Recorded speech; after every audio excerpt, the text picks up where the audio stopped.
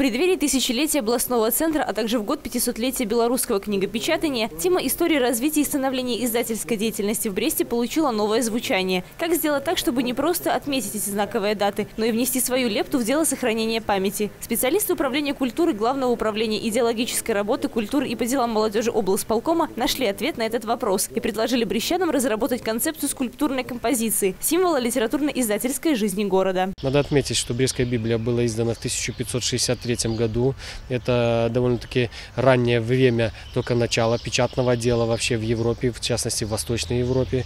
Поэтому нам есть чем гордиться. Я думаю, что этот памятный знак будет э, отображать важнейшее историческое событие не только для Беларуси, но и для, э, в частности для Восточной Европы в целом. Конкурс был объявлен не так давно, 12 мая, а первые заявки уже поступили в оргкомитет. Ангел с Библией, книга Арка и макет традиционного памятника с использованием элементов ковки и литья. Творческие проекты такого формата уже на столе у членов жюри. Конкурс открытый предполагает участие без возрастных ограничений, без профессиональных навыков, любых людей, любые идеи будут приветствоваться. Э, для того, чтобы поучаствовать в конкурсе, необходимо подать заявку, э, выполнить эскизный проект на листе бумаги формата А3, А4 и, соответственно, изготовить объемно-пространственную э, композицию, сделать без учета материала. Либо это глина, либо пластилин, либо гипс, кому что проще, для того, чтобы можно было, скажем так, видеть, как она будет в объемно-пространственном виде выглядеть. История книгопечатания – это большой фрагмент истории человечества. За годы развития издательская деятельность стала неотъемлемым элементом культуры. И для ученых сегодня она является источником знаний о менталитете, религии и ценностях людей в разные эпохи. С книгами разных веков в Бресте можно познакомиться в областной библиотеке имени Горького. Перечень имеющихся на стеллажах изданий может удивить историков и филологов. На стеллажах от философии Синеки 1658 года до русской охотничьей библиотеки 1905. Книга как детектив.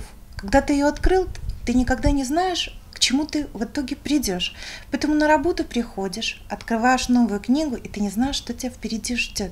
Это очень интересно. Но особое место в большой коллекции отведено Брестской Библии. Здесь в отделе редких книг в специальном сейфе под грифом «Секретно» хранится порядка 100 из 738 страниц аутентичной Брестской Библии. Всего в мире количество сохранившихся экземпляров книги около 120. Ее уникальность подтверждает ряд специфических параметров. Библия напечатана на старопольском языке готическим шрифтом.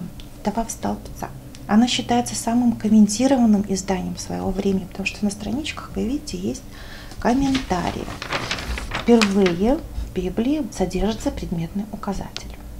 Библия – это первое протестантское издание Библии на польском языке. Вообще впервые в Беларуси. Значение Брестской Библии для истории города, области, да и в целом страны велико. Сегодня идут переговоры о том, чтобы аутентичное издание возвратилось на родину. Учитывая все вышесказанное, концепция памятника должна быть содержательной, обоснованной и, конечно же, туристически привлекательной. Размещена она будет на углу улиц Пушкинской и Кирова, недалеко от здания областной библиотеки. Дедлайн подачи заявок 12 июня. На реализацию проекта отведено всего несколько месяцев. Открытие новой культурной достопримечательности запланировано на осень.